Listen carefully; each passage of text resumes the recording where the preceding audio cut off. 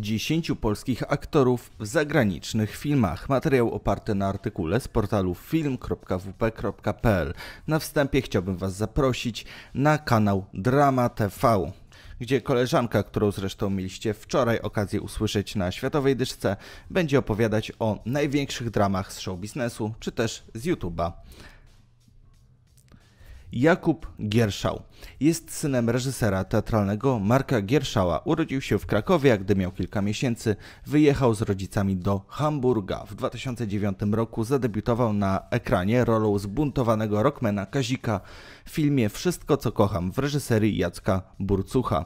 Popularność przyniósł mu film Sala Samobójców, w którym wcielił się w postać Dominika, licealisty z bogatej rodziny, który uzależnia się od świata wirtualnego. Boże, ten film był taki beznadziejny. W 2013 roku zagrał główne role w dwóch niemieckojęzycznych filmach. Postać Maksymiliana w Mrocznym Świecie oraz Feliksa w produkcji Diabeł z trzema złotymi włosami. Znacie? Świetnie, ja też nie. Znam za to jego chyba najpopularniejszą rolę, czyli tę z filmu Dracula, historia nieznana z 2017 roku.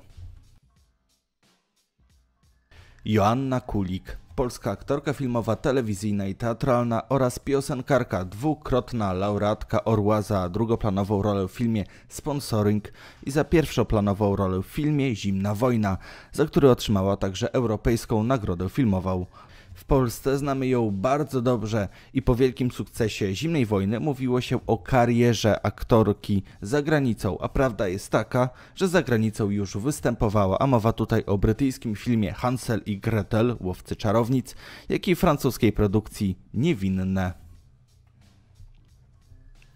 Marcin Dorociński, polski aktor teatralny, telewizyjny i filmowy, sześciokrotnie nominowany do Orłów za pierwszoplanowe role w filmach Boisko Bezdomnych, Rewers, Róża, Obława i Jack Strong oraz za drugoplanową w filmie Moje córki Krowy.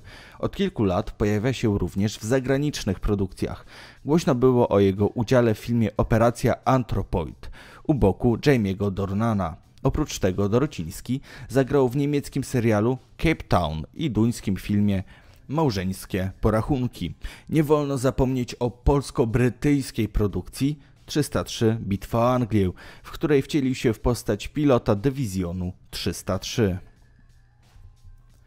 Agata Buzek, polska aktorka i modelka, laureatka Orła za pierwszoplanową rolę w filmie Rewers, córka byłego premiera Jerzego Buzka i Ludgardy Buzek.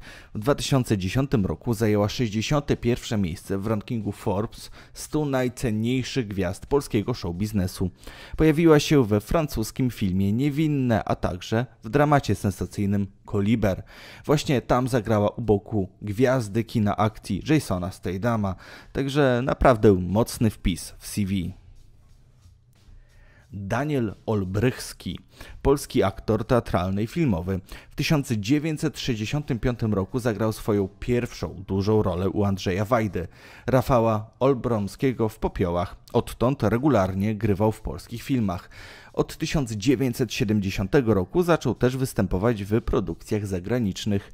Wśród wielu reżyserów, w których filmach pojawił się Daniel Olbrychski, trzeba wymienić Volkera, Schondorfa czy Nikitę Michałkowa. Jednak rola w amerykańskim thrillerze szpiegowskim Salt wywołała w Polsce największe zamieszanie. Olbrychski zagrał rosyjskiego szpiega i stanął naprzeciwko samej Angeliny Jolie. Jerzy Sztur, polski aktor filmowy i teatralny, reżyser, pedagog, profesor sztuk teatralnych, pisarz i polonista laureat Polskiej Nagrody Filmowej za rolę drugoplanową w filmie Persona non grata i Nagrody Specjalnej za osiągnięcia życia. Tytuł profesora sztuk teatralnych uzyskał już w 1994 roku. Był członkiem Centralnej Komisji do Spraw Stopni i Tytułów. Z powodzeniem radzi sobie na polskim rynku, ale często bierze udział we włoskich produkcjach. Cudze życie, Kajman, Maryja Matka Jezusa, no i oczywiście głośne Habemus Papam, Mamy Papieża. Michalina Olszańska, córka Agnieszki Fatygi oraz Wojciecha Olszańskiego. Urodziła się 29 czerwca 1992 roku w Warszawie. Choć gra w polskich filmach, można ją znać z Anatomii Zła czy Córek Dancingu. Z powodzeniem rozwija swoją karierę u naszych sąsiadów. Zagrała główną rolę w rosyjskim dramacie Matylda, zachwyciła w czeskiej produkcji Ja Olga Hepnarowa, a także pojawiła się w musicalu Muzykanci. Kasia Smutniak, polska aktorka filmowa i telewizyjna modelka, która największą popularność zdobyła we Włoszech, gdzie pracuje i mieszka od lat. Doceniana za kreacje dramatyczne, jak i komediowe, bywa nazywana młodszą siostrą Moniki Bellucci. Ma na swoim koncie dużo znaczących ról, m.in. Zapnijcie pasy, dobrze się kłamie w miłym towarzystwie, żona czy mąż, no i oczywiście była nominowana do nagrody Włoskiej Akademii Filmowej. Warto wspomnieć o filmie Loro, filmie o włoskim premierze Silvio Berlusconim. Natalia Siwek bardziej znana pod swoim pseudonimem Natalia Avelon. Urodzona we Wrocławiu już w przedszkolu po obejrzeniu przedstawień we Wrocławskim Teatrze Lalek odkryła swoje zainteresowanie muzyką, teatrem i sztuką. Na początku kariery pracowała jako fotomodelka. Pierwszym filmem, w którym zagrała główną rolę, był biograficzny komediodramat Das wilde Leben, opowiadający o życiu Ushi Obermeier, ikony rewolucji seksualnej lat 60. w Niemczech, uznawanej za jedną z najsłynniejszych grupi. Partnerka Jaggera, jakby kto pytał. Muszę o niej zrobić odcinek na historię, tak swoją drogą. Na potrzeby ścieżki dźwiękowej tego filmu Avalon w duecie z Willy Valo nagrała cover piosenki Summer Wine. Zagrała też filmowej wersji Far Cry. Tak, to ten wyjątkowo paskudny film.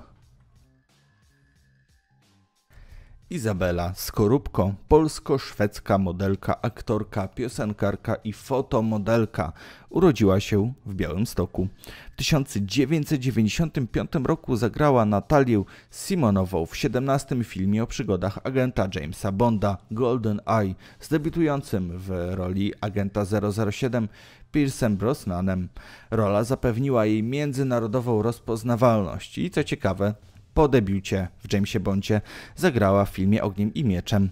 Następnie wystąpiła w hollywoodzkich produkcjach, filmie sensacyjno-przygodowym Granice Wytrzymałości, thrillerze fantasy science fiction Władcy Ognia z Christianem Bale'em, Matthew McConaugheyem i Gerardem Butlerem oraz horrorze Egzorcysta Początek. I o ile film Egzorcysta Początek jest beznadziejny, tak Władcy Ognia naprawdę są bardzo fajną fantastyką i inteligentną fantastyką, także warto obejrzeć. Bonus Rafał Zawierucha.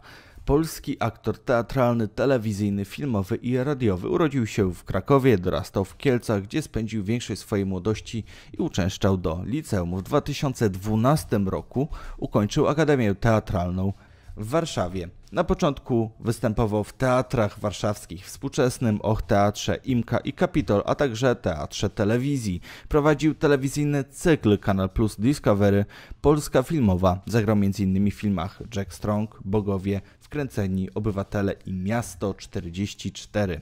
Znany jest również z serialu Przepis na życie czy Siła Wyższa. W 2012 roku za rolę w filmie Księstwo Andrzeja Barańskiego otrzymał nominację do Złotej Kaczki dla najlepszego aktora. Na łamach filmu, tak pisał wtedy o nim krytyk Łukasz Maciejewski, ma w sobie jasność, wdzięk i entuzjazm wiecznego dziecka, sympatię od pierwszego wejrzenia. I taką sympatię poczuł właśnie do niego Quentin Tarantino, gdyż on obsadził go w obsadzie filmu Once Upon a Time in Hollywood – w roli Romana Polańskiego. Także trzeba przyznać, że dla tak młodego aktora, bo urodził się w 1986 roku, rola w filmie Tarantino i to tak ważna jak postać Romana Polańskiego, to jest naprawdę niezwykłe osiągnięcie. Także czekamy niecierpliwie, co tam nasz polski aktor pokaże. Dzięki za obejrzenie do końca. Mam nadzieję, że ten film Wam się podobał. Dajcie znać w komentarzu, o czym chcielibyście kolejną dyszkę i koniecznie zajrzyjcie na kanał Drama TV, ponieważ myślę, że będzie z tego coś dobrego. Ponadto napiszcie w komentarzu, o czym chcielibyście kolejną dyszkę i zajrzyjcie na światową historię, gdzie może dawno filmu nie było, ale na pewno lada moment się pojawi. Trzymajcie się, cześć.